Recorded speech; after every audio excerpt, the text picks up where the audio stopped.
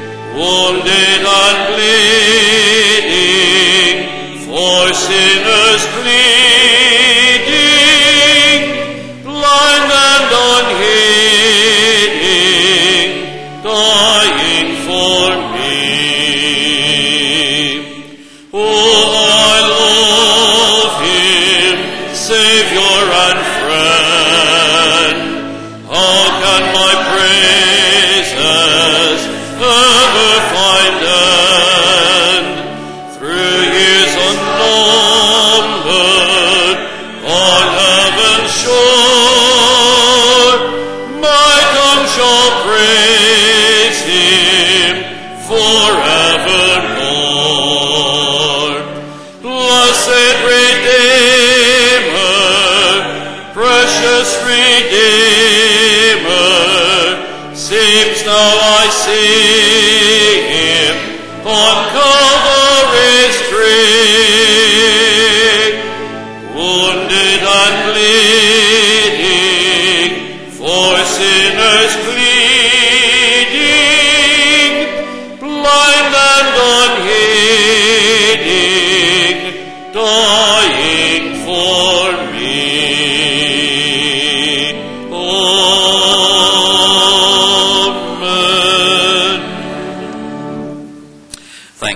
seated.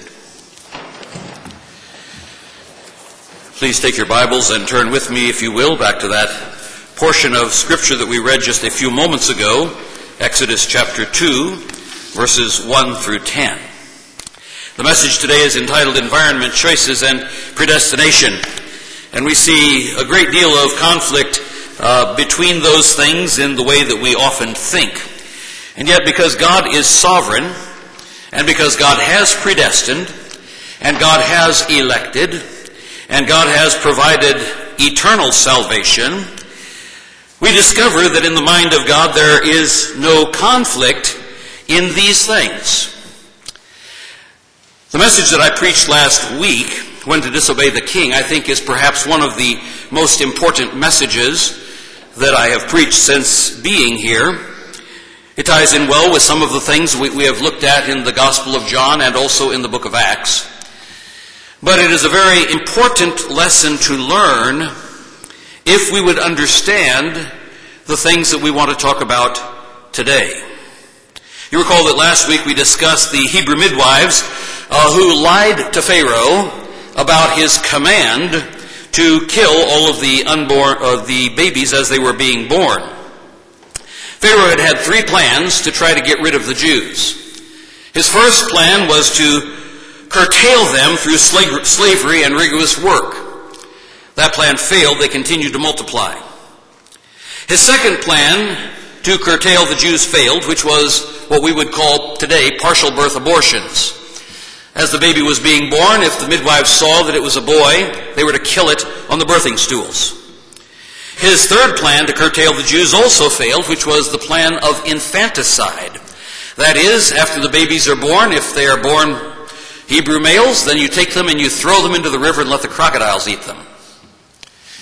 That plan failed also, as we discover, because as Moses grows to adulthood in the book of Exodus, we see the Jews are still enslaved and they are continuing to grow in terms of their numbers. And so Pharaoh makes their bondage even more bitter. We saw last week that this series of events is referenced by Stephen in his sermon in the book of Acts in chapter 7 because Stephen uses it as a key and crucial turning point in the history of Israel. And we saw that whenever a nation stoops to these kinds of depraved acts, we reach a crucial turning point in that nation's history. And all throughout the Bible, we find multiple turning points where things could have gone one way or the other, based upon the actions of God's people. The scriptures are given to us that we might learn what pleases God and what displeases Him. The scriptures are given to us, Paul explains in 1 Corinthians chapter 10, so that we would not fall into the same kinds of sins that God's people have fallen into in the past. And although God is sovereignly in charge of the minutest details of history, yet somehow in the midst of that, He holds us accountable for the choices that we make. And the choices have very real consequences that play out not only in the life of the individual, in the life of a family, but also in the life of a nation. The first issue we dealt with last week was that God did not bless the lying of these Hebrew midwives. We saw specific quotations from Scripture that make it clear that Satan is the father of all lies, and Jesus is the truth. We also looked at the issue of Rahab the harlot in Joshua chapter 2, and how she was spared even though she lied to the ones, the king's soldiers who came looking for the spies. But we saw also that the reason that she was blessed was not because of her lying, but because of her faith. Not once in Scripture does God commend lying. Instead, we find both Rahab and also the midwives commended for their faith in the living God and for their obedience to divine law as superior to human law. It's true that believers sometimes lie and sometimes sin, but that doesn't therefore make it right. We also need to remember that God is sovereign and can work out the problems that we face in our lives without having to tell lies. There hath no temptation taken you, but such as is common to man. But God is faithful, who will not suffer you to be tempted above that ye are able, but will with the temptation also make a way to escape, that ye may be able to bear it. You know, all the way through my high school years, I camped out on that verse. There were constant temptations, constant pressures, constant pulls and tugs one way or the other. I was living away from home at a Christian boarding school, but there are plenty of temptations even at a Christian boarding school. And so this became sort of a, like a focal verse for me. And how glad I am that God called my attention to it. 1 Corinthians 10:13. So that's what set the stage for us to understand the principle of when to disobey the king, those who are in authority. And the main issue that we deal with when we are covering that subject is that you never have the option of choosing when to disobey. You say, but you got to disobey sometimes. Yes, that's right. But it's not a matter of choosing when to disobey. You see, disobedience is not an option. Disobedience when it is required is an obligation. Let me say that again. Disobedience is never an option. Disobedience is required when it is an obligation. God has established the entire structure of authority on earth. And since God has established the authority structure, it is our obligation to always obey those in positions of authority over us, whatever that sphere of authority is the home, the church, the government, and so on.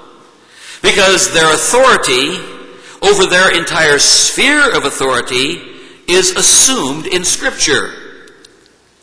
Disobedience is only permitted when it is required by God. And when it is required, it is not optional.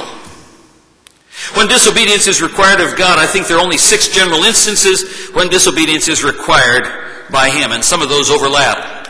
Let me remind you of them quickly. Disobedience is required when the one in authority requires you to disobey the Bible. Disobedience is required when the one in authority prohibits you from obeying the Bible. Disobedience to authority is required when a lower authority requires you to disobey a higher authority. Disobedience is required when a lower authority prohibits you from obeying a higher authority. This obedience is required when one in authority requires you to lie or to keep silent about the truth. Disobedience to authority is required when an authority requires you to pit one biblical requirement against another biblical requirement. And we saw the illustration of the Sanhedrin, which was requiring Peter and John in Acts chapter 4 and in Acts chapter 5 to disobey the command of Christ to go into all the world and preach the gospel to every creature. They were prohibiting them from doing that, and they were pitting that authority against their own ordained authority. The Lord Jesus Christ made it clear in the Gospels that they were to obey those who sat in Moses' seat. But here is Moses' seat contradicting the Bible, and which of the two is the higher authority? They were pitting one authority against another authority that was ordained by God. If you claim that you have to disobey, you had better be ready to prove that your authority has required you to disobey the Bible or is trying to prevent you from obeying the Bible in one of these six different areas. Otherwise, to disobey those in authority is to disobey God. But it's more subtle than that. And I want to expand on it a little bit because it helps us understand what's going on in the text today when Moses' mother hides him in a basket of bulrushes and sets Miriam to watch him. Disobedience includes those times when you know the will of the one in authority and you choose not to do that will. It doesn't merely include specific detailed commands and prohibitions. Now, those of you who are parents or grandparents know how this works. When your children are little and tiny, you have to give them very specific, detailed commands. Otherwise, they respond to you, but you only told me not to touch that particular little piece of figurine. You didn't tell me not to touch that plate right there. When you're dealing with little teeny kids who are not mature, you have to give very detailed instructions. And we as parents, over the past however many years it's been, wearied ourselves with telling our little tiny children the specific details of everything that this is a no-no, and this is a no-no, and this is a no-no, and this is a no-no. And if you missed one of them, you know which one the kid goes for always? He goes for the one that you didn't say it specifically, this is a no-no. You see, that's, that's a sign of immaturity when we have to have detailed commands. Otherwise, we want to argue with God and say, well, you got some principles out there, but, you know, I'm not interested in the principles. I just want to know what are the detailed commands. I ran into that in college, for example, where kids would come up to me uh, who had been caught uh, smoking. And they'd say, but the Bible doesn't say you can't smoke. Okay, come on. Can we not understand the will of God through the principles that He has set down in His Word? Such as, your body is the temple of the Holy Spirit. And if you defile the temple of God, you'll get destroyed. God not only gives us specific commands and specific prohibitions, but He sets down for us general areas of obligation whereby we bring Him the greatest amount of glory and the greatest good to God's people. And when we want to argue petty things like, well, the Bible didn't say I can't take heroin. There's no place in the Bible that says thou shalt not take heroin, or that thou shalt not abuse drugs, or that thou not, shalt not break the speed limit, and so on. No, but it tells us to obey those in authority over us. You see, folks, when we're dealing with the will of God, when we're dealing with obedience and disobedience, our goal is not merely to list the 639 laws of the Old Testament, but our desire is to find out the will of God expressed not only in the laws, which are merely illustrations of the grand principles that He has set forth for us, that we might lead lives that are pleasing to Him.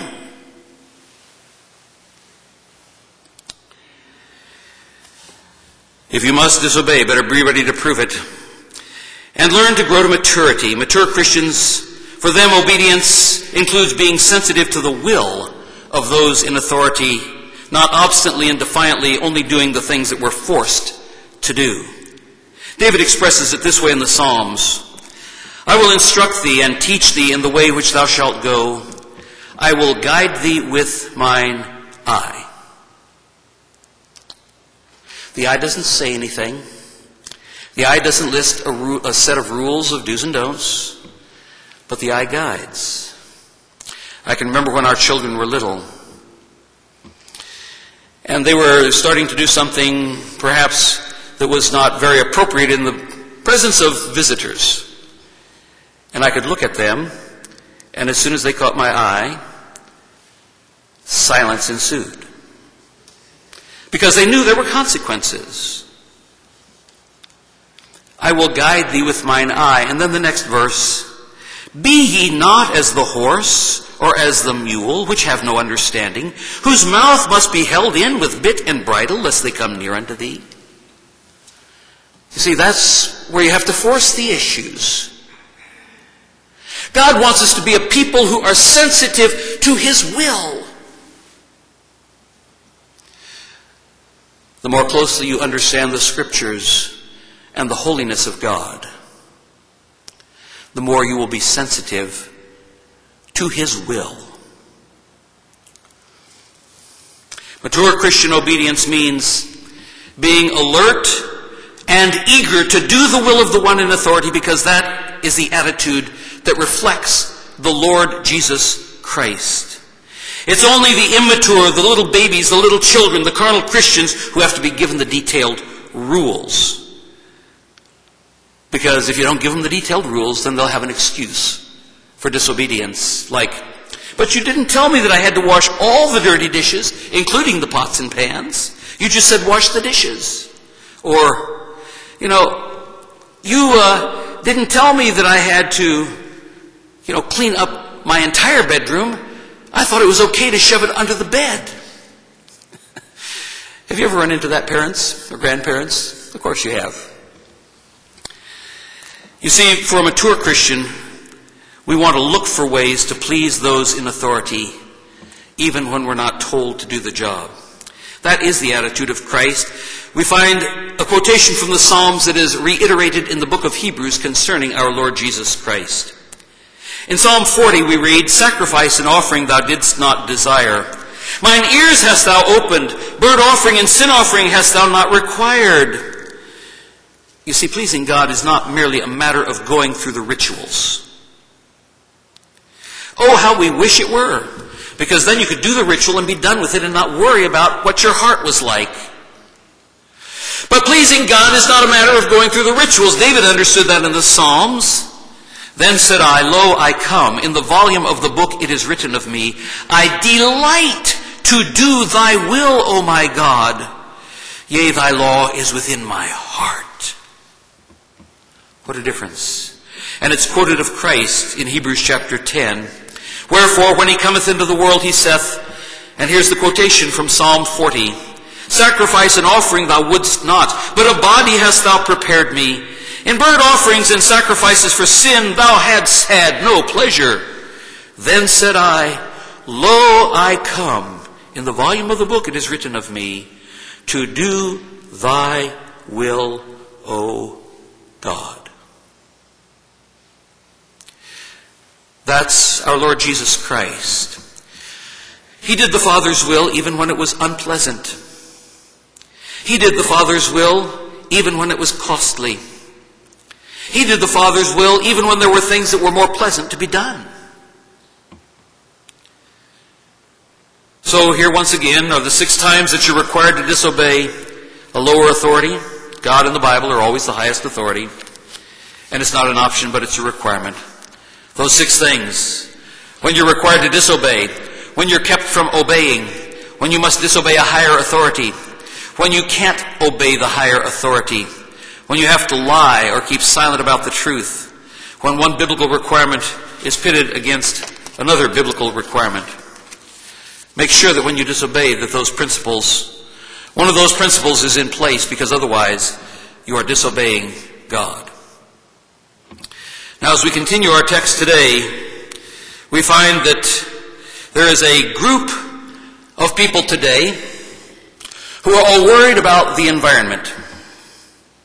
There's a group of people today who are all worried about free will. There's a group of people today who are all worried about predestination. And they never think of the other things, only that's those subjects. Folks, we have a sovereign God who ties it all together. He's made us stewards of the earth. We understand that. The, the left wing folks who go out there on a, a green limb someplace are not us. I hope not. We do have a biblical mandate concerning the creation around us, but it does not become our God. For many of those people, it has become their God. And they worship Mother Earth. And they think that even though they are schizophrenic in this, that evolution is true on one hand, that we are destroying the, the species, all these things that are going extinct, and not tying it together that the theory of evolution says survival of the fittest, and so those things went extinct, so what? You know, there's a very, very strong disconnect there in those people's thinking. There are many people who think that God is not in control at all. He's sitting up in heaven just biting his nails and wondering what's going to happen down here on earth. But you know, when you have a sovereign God, God is in control even of those people who think about God like that. Have you ever thought of that? Even in control of those folks who absolutely do not believe in election absolutely do not believe in predestination. We see illustrations of that in our text today. This man of the house of Levi marries another of the daughters of Levi. They are descended 400 years from uh, Levi, from the 12 tribes that began the children of Israel, which came down to Egypt in the days of Joseph, and Jacob is still alive at that time. So 400 years later, here we find marriage between two members of the same tribe. That's going to be very important later on as we get further into the book of Exodus, where God begins to reveal his plan concerning the priesthood.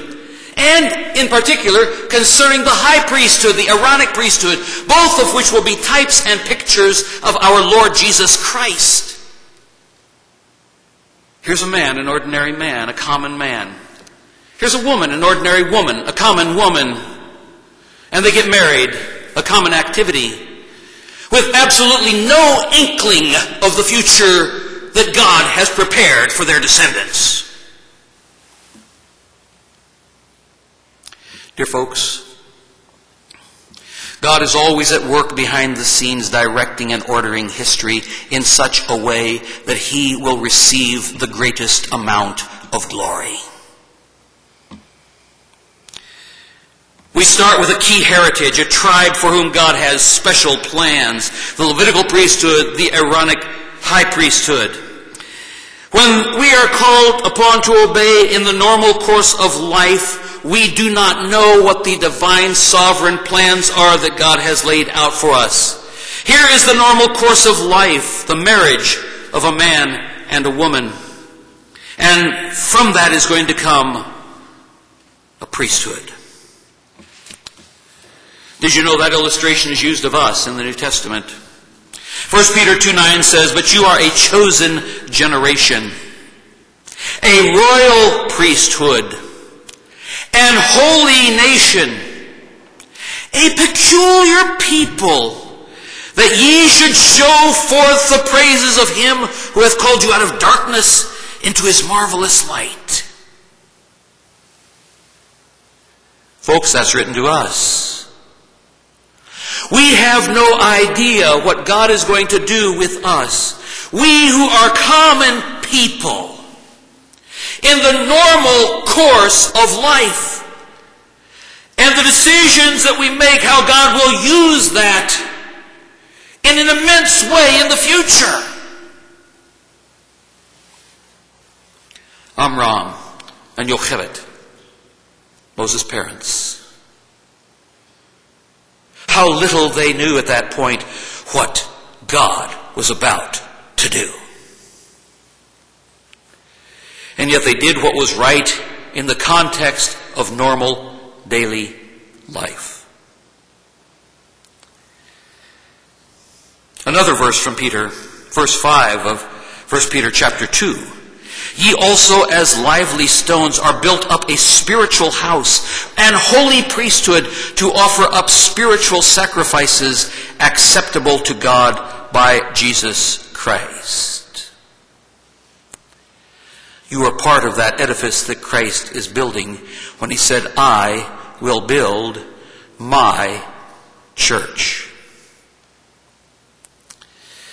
The Old Testament priests offered up bullocks and goats and rams and lambs. They offered up meal offerings. They offered up all kinds of different types of offerings, trespass offerings and sin offerings. And on Yom Kippur, the high priest carried the blood in and sprinkled it upon the Ark of the Covenant. You and I are called upon to offer up spiritual sacrifices. Oh, that's an exciting subject. Wish we had time for it. But it includes not only prayer, but it includes the way in which we live. We are to present our bodies a living sacrifice, holy, acceptable unto God, which is your reasonable service. And be not conformed to this world, but be ye transformed by the renewing of your mind, that ye may prove what is that good and acceptable and perfect will of God.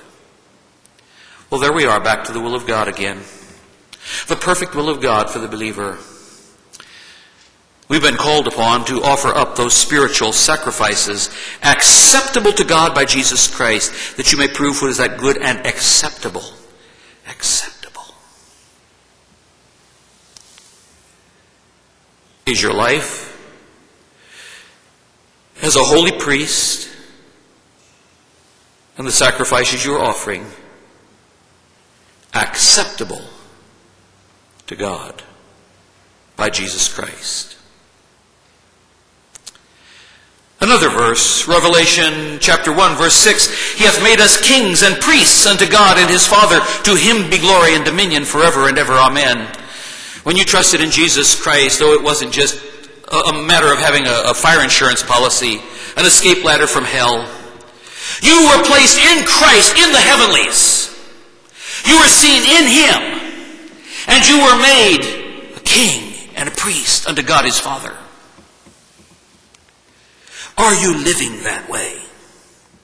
How about Revelation 5:10? And has made us unto our God kings and priests, and we shall reign on the earth. You see, what we have going on here is a normal couple in the normal course of life, and yet with no idea that what is going to come forth from them will be the first leaders of the nation of Israel. Kings, and priests. Sometimes in the normal course of life for the Christian, it puts us in conflict with the world around us. We find requirements by those in authority to lie. I could give you lots of illustrations of that. I'll choose just one. Uh, I have a, a relative who, uh, when in college, was working for a particular company as a, a receptionist. And uh, she uh, was told by her boss that when she answered the phone, that she had to lie and say, the boss is not in, may I take a message? Even when he was standing right in front of her, she had to say that lie. And she said, well, I won't do that because I'm a Christian. And to make a very long story short, after the backs and forth on this issue, they finally fired her. And she ended up going to a school where she met the man that she's now married to and involved in ministry. You see, at the time it seemed like a real horrible crisis. It seemed like the loss of a very good income at a time that she needed it. But God, in His wisdom, had something better for her. Suppose she had lied. Suppose she had gone down the road of compromise. What would then have happened? We don't know. Only God does. Sometimes those in authority require you to cheat. For example, a bookkeeper in a business being told to, you know, cook the books a little bit. Sometimes we're required to steal, like taking money under the table so that we don't have to pay taxes on it. That's stealing, you know. When you get taxable income that you don't pay taxes on and you lie to the government about it, you're stealing. Requirements to be immoral. There have been many who have faced that temptation to get a job promotion if only they'll go along with the suggestions of the boss. Requirements to kill. Christian medical professionals faced with demands to assist in abortions or in euthanasia. Folks, we face the same kinds of temptations by those in authority over us. And here's a young couple with their third little baby. Miriam has been born, Aaron has been born, and now here comes Moses. They're faced with the choice of obeying the higher authority or obeying a lower authority, much to their danger and the danger of their child. Sometimes, as we see here in our text, our attempts to do right are perhaps weak and irrational, but God honors our desire to obey His word. When she could no longer hide him, verse 3, she took, him, took for him an ark of bulrushes and daubed it with slime and with pitch and put the child therein, and she laid it in the flags by the river's brink. A mama, having reached her wits' end, knows she cannot kill her baby, is not going to throw him directly into the water, puts him in a little basket where he won't be flailing and throwing about and causing attention to any carnivores in the river, puts him in the rushes, and then tells the big sister, hide out there and watch what happens to him. Take care of him. Kind of an irrational way to try to protect your baby, because that's a little baby that's going to continue to grow and then trying to sneak him home at night and sneak him back in the morning and sneak him home at night and sneak him back in the morning and make sure that he's not in the house whenever the soldiers are coming to check. Folks, many times what we do is irrational and it's weak. But you know, we have a God who loves us. A God who sees our heart and our earnest desire to obey Him even when we don't understand how. But we make the little attempt to obey him. And what a blessing God gave to her. This big sister, of course, who's watching is Miriam, as we later discover, and the older brother Aaron. But you know, it's interesting that here in this portion of the Word of God, as he did on several occasions throughout Scripture, God chose the youngest brother who was brought into being in the time of trouble to be Israel's Redeemer. David, for example, was the youngest of Jesse's sons. And he was called on to be the one who delivered Israel by the hand of God, though the people had chosen Saul. God picked out the youngest one. Well, many others that we could speak of as well, but what we find here is we don't know. And how would you know if you choose to cut off more children, whether God has a special plan for the youngest child yet to be born, for we are entering a time of trouble.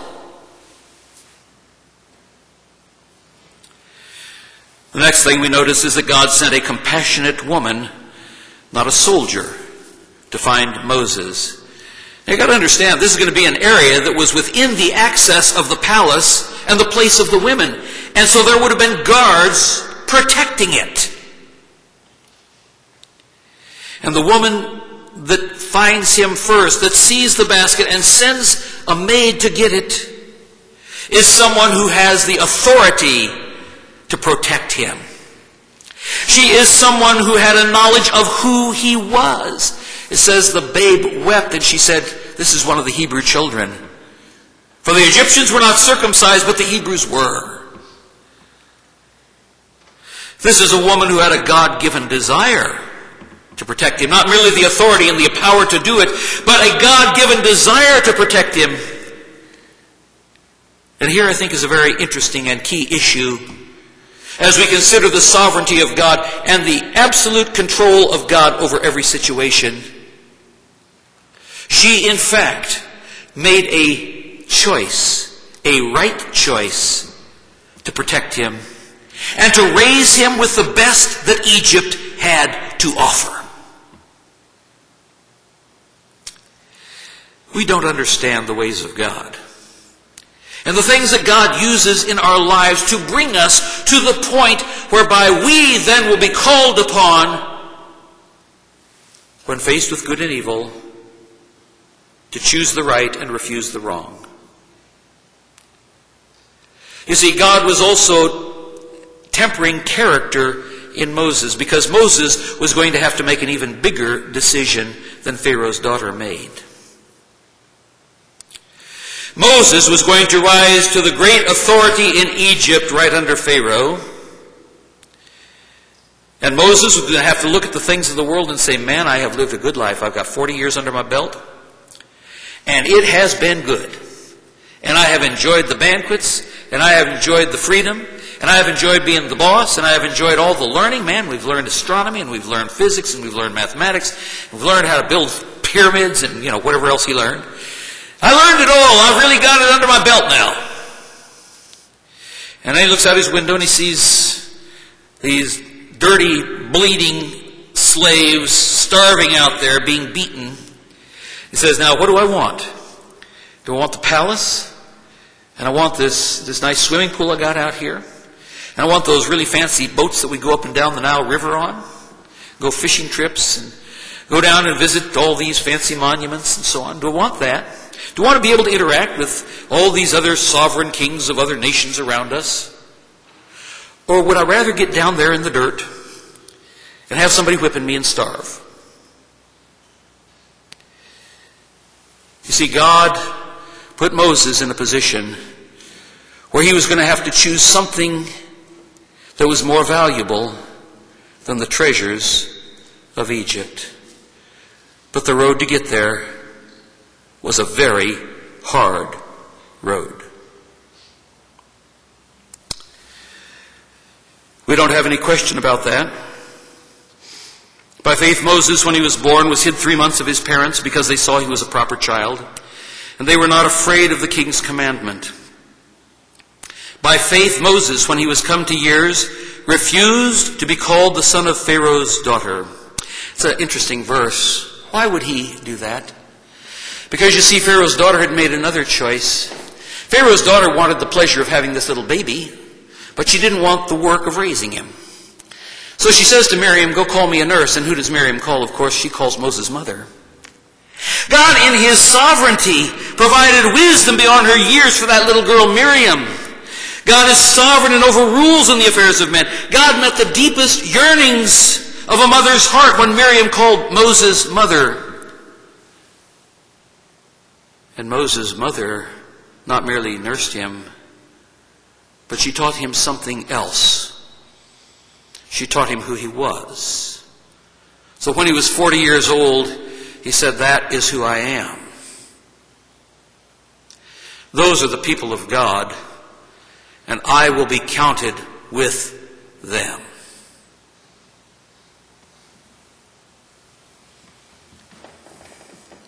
The law had not yet been given. It was through Moses that the law came at Mount Sinai. What Moses would have known were the great promises to Abraham, to Isaac, to Jacob, and to those wretched, miserable creatures that he saw out his window who were being beaten and tormented. It says, choosing rather to suffer affliction with the people of God than to enjoy the pleasures of sin for a season. You see, God had provided something for Moses.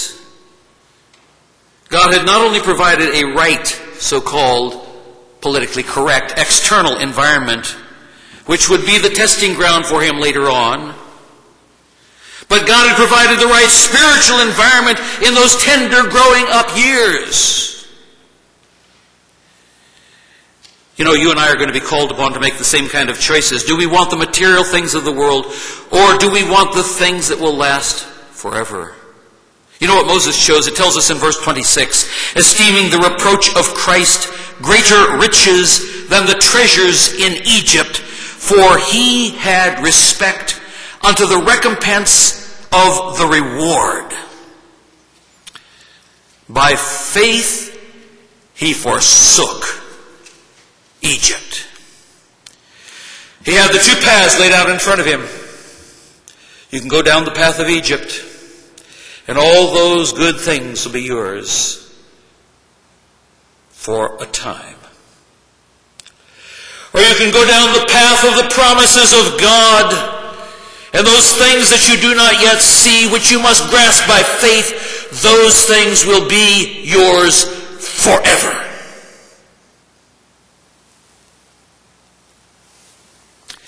By faith he forsook Egypt, not fearing the wrath of the king. How many times when we fail God and choose to go along with the evil commands of someone in authority, is it because of fear? Faith and fear cannot inhabit the same heart at the same time. One will drive out the other. There's a struggle, it's always going on. Will it be faith? Will it be fear? Will it be faith? Will it be fear? Will it be faith? Will it be fear? The fear of man bringeth a snare, but whoso putteth his trust in the Lord shall be safe. By faith he forsook Egypt, not fearing the wrath of the king, for he endured. This is something that is going to take a period of time. As seeing him who is invisible, that means you have to keep your eyes on heaven and not on earth. To see the one who is invisible is to walk by faith. Oh, what we learn from this passage here. If you are among God's elect, He will also provide the right environment, training, experiences for you. But you are going to have to make some critical choices when the time comes for your test. And so the question becomes, how will you respond? when the test comes? What are the choices that you will make for which there will be consequences that last for all of eternity? Our gracious Heavenly Father, how we thank you for your word and for the challenges that it gives us because it speaks in terms of where the rubber meets the road. It's not theory. It's absolute practice, and for the Christian, who walks by faith, a practice that is empowered by the Spirit of God to the glory of God. Father, make us a people who love you, a people who earnestly desire to do your will, a people who want to in everything, even though we don't always understand it, desire to obey you, a people who learns that you are a God whom we can trust. For you are the true and living God, and you have given us the great privilege of calling us your Father. You are our Father because of what Jesus has done. Gracious Father, thank you once again for the privilege of studying your word. We pray that it will not return void, but that it will accomplish that which you please, and that will prosper in the thing whereto you have sent it. For we pray it in Jesus' name. Amen.